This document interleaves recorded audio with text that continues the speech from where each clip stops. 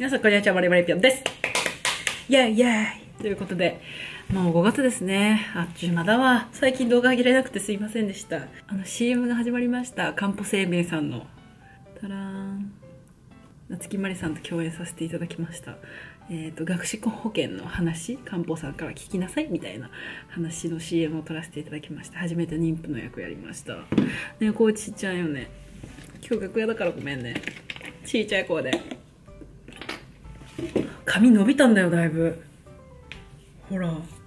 なんか今ちょうどこの髪を維持する役だからここですもうちょっとしたら切りますもうちょっとしたら終わるのでお楽しみにでも鍵の収録が毎週あるから今日も鍵の収録なんですけど新しい鍵のこれとかほらせいやさんと一緒にあの新海誠っていう新海誠監督作品のそういう発言とか曲とかすごいコントの中で入り込んでくるネタを撮らせてもらったりしてます。毎回セットがすごい豪華で感動する。井上千秋以来の鍵でこういう大きいキャラクターをやらせていただいてます。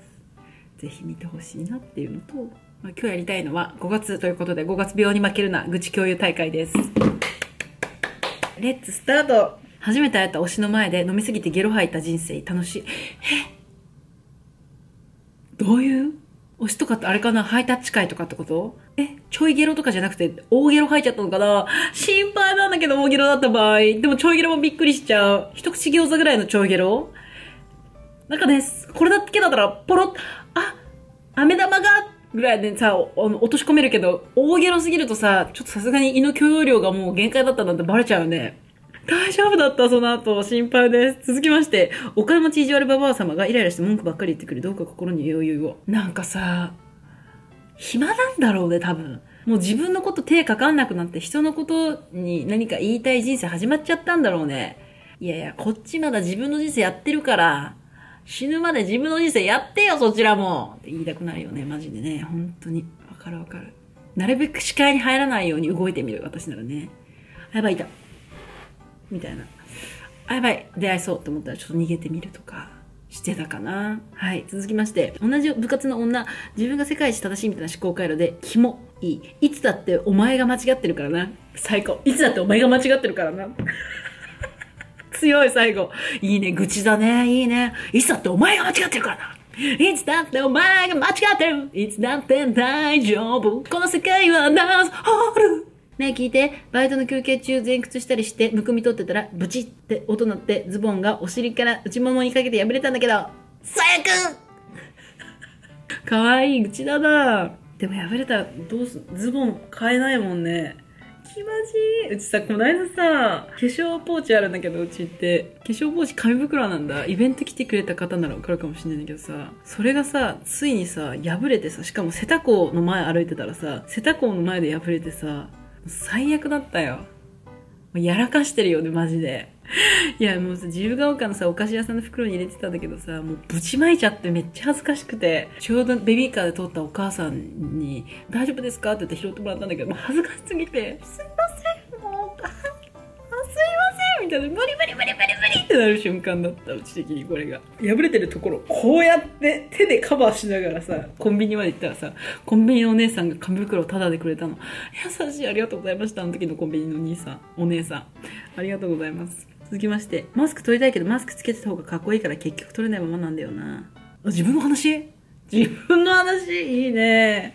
までも自由だよね。なんか、個人の自由って言われてるしね、自由な感じでもう自分のお好きなように選ぶべきだと思うし、そこは。ね。ご飯食べてる時のくちゃくちゃくちゃくちゃくちゃくちゃくちゃくちゃ、頭おかしなる。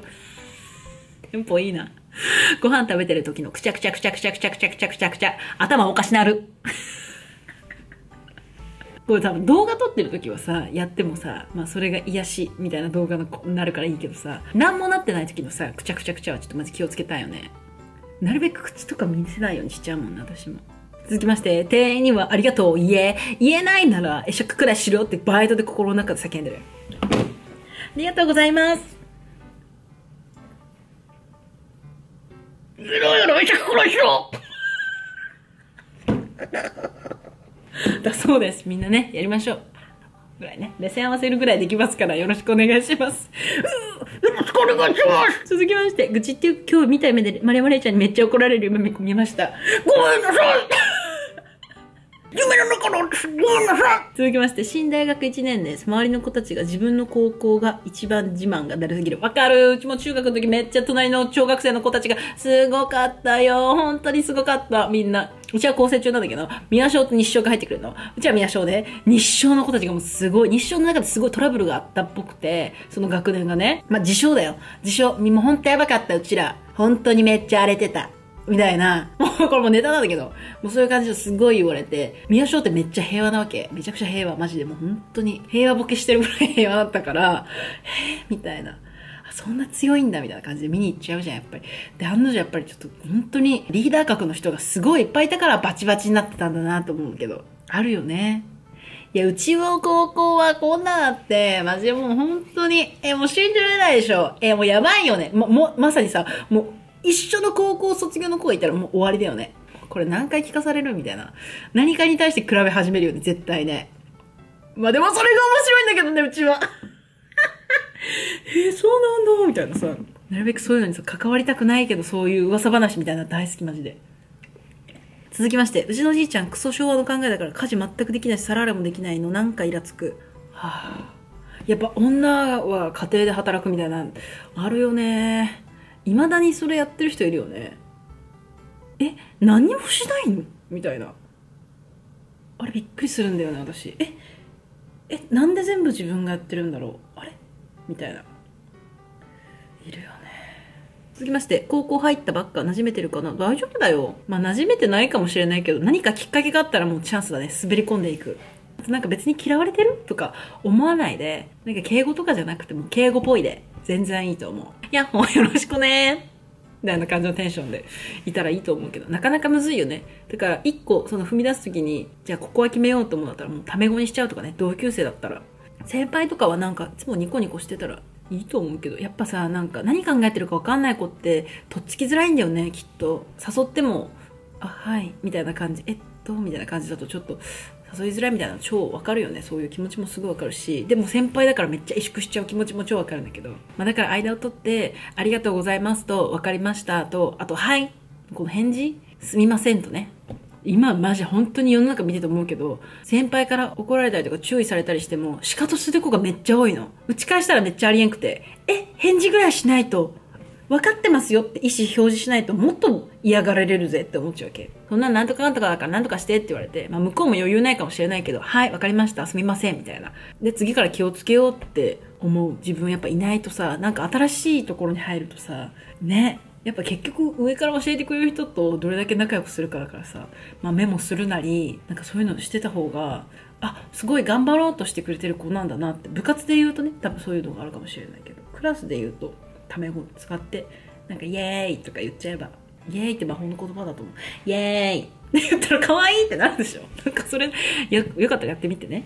太ってきたのも肌荒れてんのもコストラが一番分かってるからわざわざ言わんでいいね。ため息ため息ため息。めっちゃわかる。うちもため息ため息ため息なの。本当に。何なんだろうね。出会い頭にさ、うちこの間さ、先輩にさ、おい、太りすぎだろ肉襦袢つけてんのかって言われて、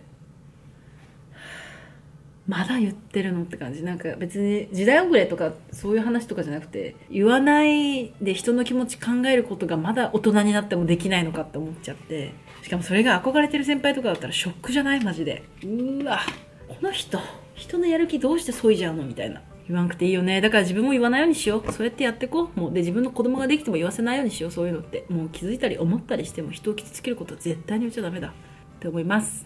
続きまして。仕事と彼氏のことで悩んでるけど、れいちゃんの動画見るとハッピーになれます。いつもありがとう。あ、本当に？大丈夫？仕事も彼氏も本当に悩むこと多いんだろうね、多分ね。もう大変マジで。ああ、こんだけ悩んで生きてるなって感じするんだけどさ、それにしてもこんなに疲れるかねっていう。対策が大変。じゃあこういう風に傷つけないように言おうとかさ、こういう風に自分の気持ち分かってもらえにように言おうとかさ、ああ、今仕事とかで、ああ、今すごいいっぱいおしゃべりしてるから自分はちょっと待っておこうとかさ、ってやりすぎてたらさ、結構心疲れんだよね。ま、こういうところで発散していこう。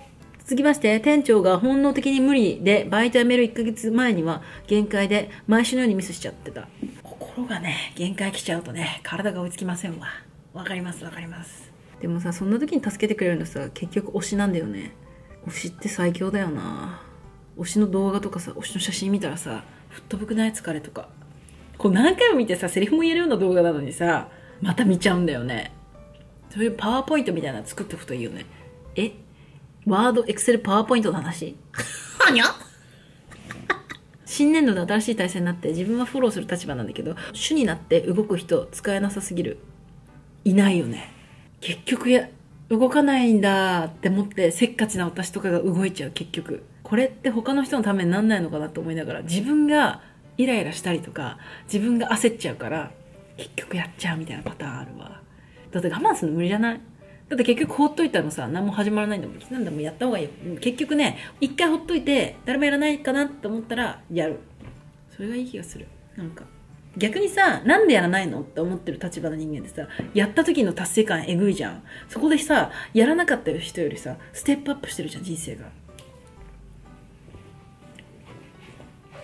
先にすいませんお先にすいませんって感じよ結局ね階段1個登ってますお疲れ様です。人生得積んでます。すいませんって感じよ。もうマウント取ってった方がいい。続きまして、弟トイレ長い。大好き、こういうの。短いさ、破壊力あるやつ大好き。みんな本当にセンスあるよね。弟トイレ長い。ああ、そっか。うちの兄ちゃんどうだったかなそうね。まあ、だおしっこしたいだけだったら全然お風呂とかでトイレできるからさ。ね。うんちの時だよね、問題は。まあ、近くのコンビニダッシュするしかないよね。だ結局こういうやつもそうなんですよそこでもうなんかうんちをすぐ変わってくれないっていう損をしてるだからうちはもう回ってそこ喧嘩回避したいからババッて行ってバッて帰ってくるで用を済ませるもうそれでいいわけですよそこのエネルギーもったいないからもっとなんか楽しいこと見るとか楽しむとか本読むとかなんかそういうとこにエネルギー使った方がいいですよまあトイレ長いみたいなのさめっちゃ力使うよね。まあ、それのおかげでぐっすり眠れたりするのかもしれないけど、これ時と場合によるね。怒りたいなって思ったら怒ればいいし、今日はもう別に、さって済ましてこればと思ったら、済ましてくればいいと思う。いや、バイバイ。続きまして、早く好きって言いなさいよもう早く早く言ってやれよ。おい早く言え最高じゃん。いいな。好きって言われたい。早く好きって言って。寝る前とかさ、推しがさ、耳元でさ、好きっていう想像してない？あ、これ手で思い出したけど、うちさ、あの、ほんち、うち高校カトリックの高校だったんだけど、だから授業の前かな、なんかお祈りするの、授業の前だっけ？宗教の時間かな？お祈りをするのを父こと精霊の皆によってアーメンってやるんだけど、このアーメンしてるさ、この手をさ、こうやってやりながらさ、その時好きだった人と手繋いでること妄想してた。激イタ女子高生。何何？すぐわからないと言ってくる28歳派遣男性に手元のメモ帳は何ですか？と言ったらメモ帳見ていいんですか？と驚かれました。あいいですよ。ぜひぜひって感じだね。メモ帳やっぱ大事よメモ帳ね。携帯やっぱできんやだから紙が一番だよな結局。まあ使わないんだけどね。使わない時って。あったら楽って感じ。なんかもうこれって見栄えただの。頑張ろうとしてますっていう、まあ、あるとないと違うじゃん。あとさ一人の時に困った時に使えるからこういうのって。続きまして全然太ってない女が痩せるまでストーリーあげないって言って次の日ストーリーあげてた。なんかいらん。なんかいらん。に太ってない子って痩せたがるよね。だから結局自分のことばっかさみんな集中してんのよ。人のことなんてそんな気にしてないのよ。人のこと言っときながらね。ただ痩せてないえじゃ痩せてる女の子が痩せてないっていうのがしんどいうちは。もう何言っていいかわからん。えそんなことないよ。暑いね今日って感じ。続きましてどんな約束も時間も守らない友達に毎度イライラさせられてる。くそでも友達辞めたくない。いいやつ。めっちゃいいやつ。だからもう自分も守んないって気持ちでいいんだよマジこれ。思うけど。私は周りも、ま、守んない人多いけど私も守んなくていいやって感じ。それでいいよ。なんかね自分と近くてイライラする時って自分が合わせに行っちゃえば自分も同じ境遇になれるからで普通に他自分が他で生活してる時は自分の普段のその尺度に戻すっていうか。これいただいた梅干しうまい。酸っぱい。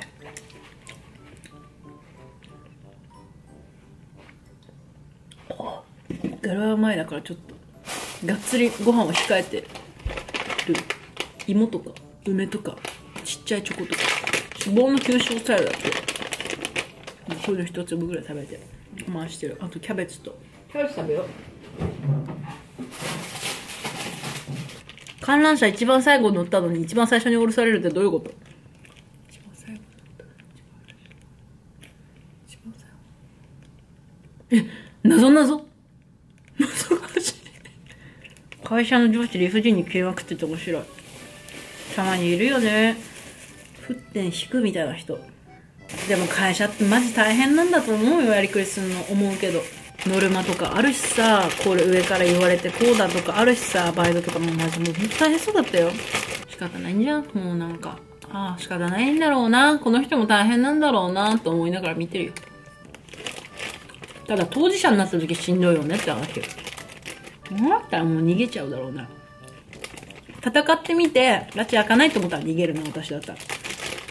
美容師でお客様と話すし、それはそれで楽しいけど、朝一一人で静かにしてるとき、スタッフの BBA が、ばわ、親戚の話とか永遠にしてくる。わらわらわらわら。興味な。わらわらわらわら。朝から疲れんねん。静かにしろや。わらわらわらわら。笑ってる。優しくない？まだなんか怒りで、ああじゃない。笑ってるもん。優しい人。おばちゃんは喋るよよく。うちのお母さんも喋るもんよく。相手いないのよ、普段喋る相手が。だから私、こまめに LINE してるけど、別になんかそこ嫌がってるわけじゃなくて、そのいっぱい喋りかけてくること。まあ、たまに嫌になるけど。でも別に良くない？なんか離れてる人がさ、そうやって喋りたくなっちゃうの。ただ会社の BBA 一人で黙々とやりたい時に喋りかけないで問題はあるね。だからやっぱ結局、厄介そうな人は姿を消すのが一番。見えない。もう視覚に入るとかね。かくれんぼしてると思ったらいいんじゃない？続きまして、スナックの手伝いすることがあって、一曲歌ってよと無茶ぶり。歌下手すぎてお客さん、帰れ。ひどい。あんたが帰りなよ楽しいじゃない？ひどい。帰れ。か、うちは心の中で、帰れ。帰れ。って拳突き上げるね。続きまして、ゴールデンウィーク最終日。しかも午後から生徒会とか先生の神経行かれてる。生徒会大変だよね。神経死ぬよね。どう思う？生徒会は私はなんか自分で、これをやらなきゃ。あれをしなきゃ。自分がやらなきゃ。みたいな正義感が強すぎちゃって、人に任せるっていうのをうまく覚えてなかったから、それでいっぱいいっぱいになっちゃったことが何回もあった。だからやっぱ人に任せるって大事だよね。ゆるく。あ、これもやらなきゃなんですか？頑張ってやります。あ、助けてください。ここできません。ここできませんってできたら最高なんだよね。結局自分で背負い込んじゃうじゃん。やり遂げたいみたいなさ、気持ち超あるじゃん。みんなない？私めっちゃあるんだよね。っていうのがダメだって気づいた。だからできるものはできる、できないものはできないって判断しようとする、その気持ちを作る練習をしたかな。でも最低限、最最高限、最高限自分で頑張ってから、ここできなかった、ポロポロみたいなのを、こう、すいません。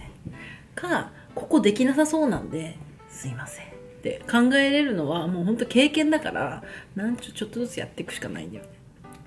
だからもう、休日も行くの大変だけど、先生この日しかもう無理なんですよね。はいはい、了解了解ぐらいの感じで。私って仕事できる女、でもここはできません、みたいな感じでややれたらいいと思う。何でもかんでも私につなげていじってその場を盛り上げようとするのはやめろ、同期。盛り上げベター盛り上げベターっていうテンションで多分言えると思うから、そうやって言っていいと思う。そこで愚痴を発散する。続きまして、寿司屋で働いてて手洗いしすぎて爪ボロボロや、爪に栄養を与えてくれ。オイル塗りなーオイル売ってるから、100円でも何円でも売ってるからさ。でも私、居酒屋の時ここバカみたいに荒れた洗剤で。ボッコボコになってた皮膚が。死ぬほど痛かった、その時は。今日バイトで、ババアが味噌ラーメン頼んで、隣のじじい、ね、ババアとじじいって呼んでると死ぬんだけど、マジで。今日バイトでババアが味噌ラーメン、今日バイトでババアが味噌ラーメン頼んで、隣のじじいが醤油ラーメン頼まれて、味噌を最初に持ってったら、醤油ラーメンの方が簡単でしょ？早くって言われたこと。じゃあお前が作れ、うんち最高。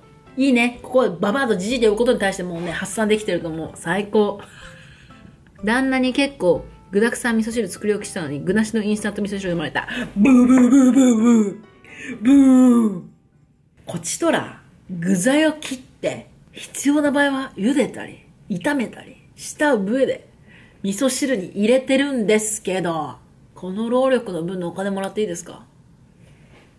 って感じ。上司うざい。上司ってね、うざい人いるよね。自分は上司うざくならないようにしようって思うよね。わかる。続きまして、愚痴じゃないけど、レイペンポップに友達の誘い断り方を教えて、お互い傷つかない感じに。むずいよね。これ本当に難しい。めっちゃ行きたいんだけど、てんてんてん。で、一個送って、実は今日こういうことがあって、みたいなのもう素直に言っちゃう。それしかないです、結局ね。もう変に嘘つく必要ないから。めっちゃ行きたいんだよ。本当はめっちゃ行きたい。私よく魂連れてってって言っちゃう。うちの魂は連れてってくれ。って託しちゃったりする裏でたくさんフォローしてるからみんな仕事成り立ってるのに私の努力報われなくて泣いちゃううん頑張ってる絶対絶対頑張ってる。みんなありがとうって言えって感じだね。じゃあもうてこのもう YouTube の前の人に言ってもらおう。せーの。ありがとう。言ってくれたよ。126万人があなたにありがとうって言ってくれた。毎日お疲れ様。もしゃもしゃもしゃ。疑似彼氏。いつもお疲れ様。今日はゆっくりホットミルクでも飲んでねよ。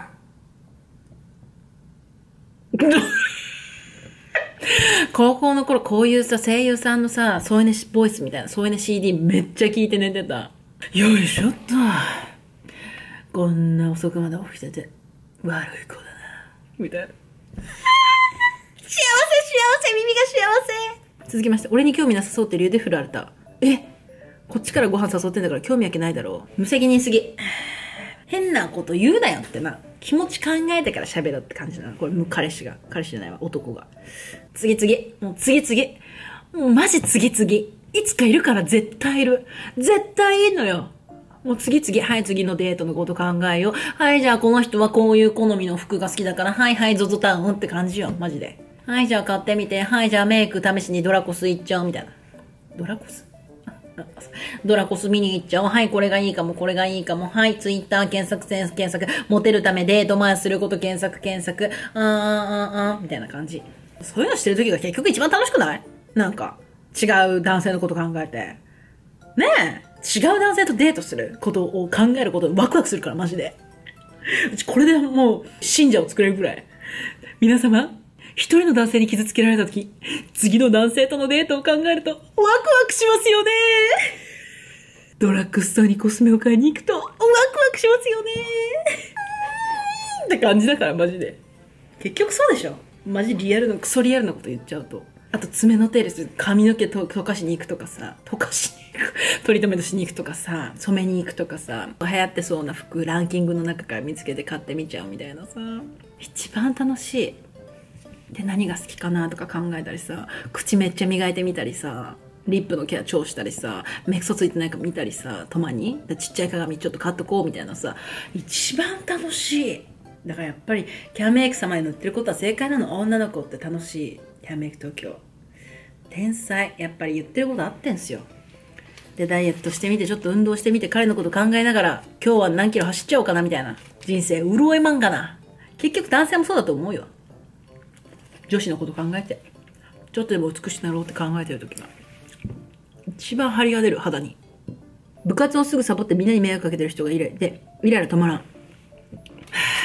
本当にね、人に迷惑かけるのはダメですね。私も鍵なくしちゃって、この間もマネージャーさんに取りに行ってもらっちゃって、本当にダメだと思った自分のことが。反省。反省します。マジで反省する。周りの助けがあって、成り立ってること気づいてないんだろうね、多分その人も。もし失敗しちゃったんなら本当に申し訳ないって気持ちを出して、自分は次からどうするとか考えた方がいい。私エアタグつけたもん。なんか解決しないと。サボってるものじゃやめちゃう方がいいかもしれないね。出た。思わせぶりしてきた男が3ヶ月後、新しい女作ってたこと。ゆうさん。これは経験あるからマジでゆうさん。じゃあ連絡返すなよって話なんだよ。本当に無責任な男女多いよね。え、高市1年目。毎日下痢になるの。死ぬ。大丈夫かい？体ってさ、心が思ってる以上に体ってダメージ受けてんだよな。心配だわ。ちょっと移動しました。これは、ま、目の前はマネージャーのいくちゃんがいます。頭のてっぺんのぴょんぴょんしてる毛、そろそろ死んでほしい。可愛いよね。こういうのがいっぱいあるの。いや、なんかこの、この間証明写真撮りに行った時に、はいアホ毛直されたの思い出しちゃった。何も言わないで。アホ毛直しますねって言われて、あの、まとめるやつをさ、頭にやられたの、男性に。袋お願いしますって言われるけど、サイズ毎回言うのだるすぎ。書いたんだろう。一言多くなるんだよ。全然入ってこない まあでも、ここに書いてあるから、何サイズかを自分で言えよって話だ。ああ。確かにね、こう店員あるある。ね、ごめんね、本当に。すいません、いろんな場所に移動してるんですけど。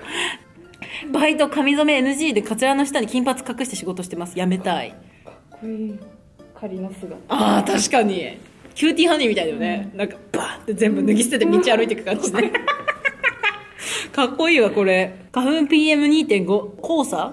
トリプルパンチゲロリンチョ。マジ語呂いいこと言ってくるよねこういう人たち。なんでスキピが8個も年上なんだよ。全然いいよね。よくない？なんか甘えるのがいいよね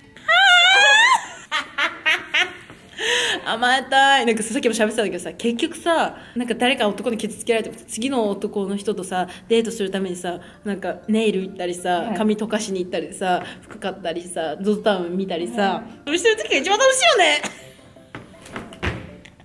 一番幸せだよね。って思うわけ。っていう思うわけです。じゃあもう今日はこの辺で。